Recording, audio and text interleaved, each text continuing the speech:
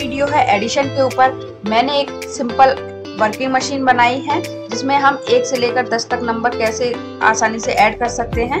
तो चलिए इसको बनाना शुरू करते हैं।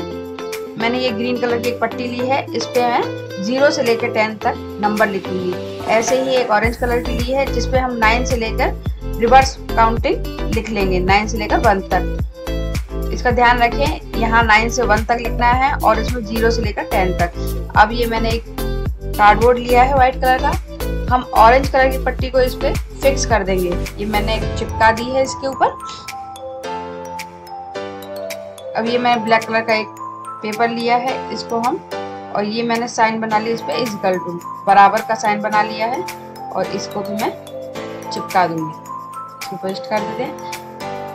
अब एक ब्लैक कलर का और पेपर लेंगे। इसमें से मुझे इस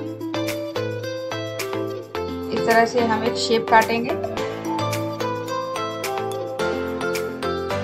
ये बहुत ही आसान और इजी है। इसमें हम बच्चों को एक से लेकर टेंथ तक नंबर कैसे जोड़ सकते हैं, ये उसी के लिए वीडियो है। ये मैंने एक शेप बना लिया है और ये ऊपर के पोर्शन को मैं ऐसे हटा दूँगी। ये इस तरह से मैंने कर लिया है। अब ये प्लस का साइन मैं इस पे जोड़ दूँगी।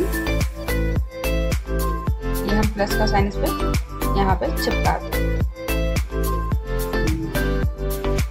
अब एक ब्लैक कलर का पेपर और लूँगी, जिसको बीच में से हम चारों तरफ़ से काट लेंगे। और जो ऊपर के पोर्शन है, उस पर ग्लू लगा के इसको पेस्ट कर देंगे।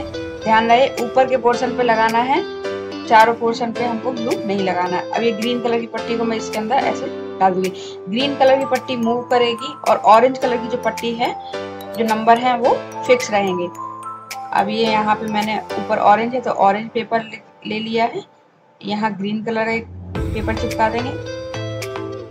और मैं यहाँ ब्लैक कलर का पेपर चिपका दूँगी। अब इन तीनों, दोनों के बीच में यहाँ प्लस का साइन बना लेंगे। और इसके आगे बराबर का।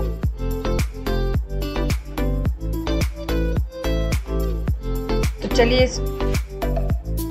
देखते हैं ये कैसे काम करती है। जैसे हमको कोई नंबर जोड़ना है तो हम नीचे बच्चों को लिखेंगे।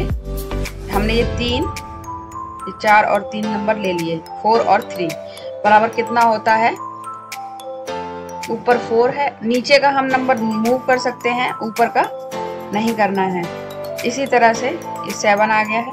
इसी तरह से हम कोई और नंबर लेते हैं। ये मैंने फाइव लिया है और थ्री लिया है। अब इसको हम उठा के यहाँ रखेंगे फाइव के ऊपर और नीचे का नंबर हम मूव करेंगे। हमको कहाँ लाना है? ये तीन पे खिसका के लेके आना है?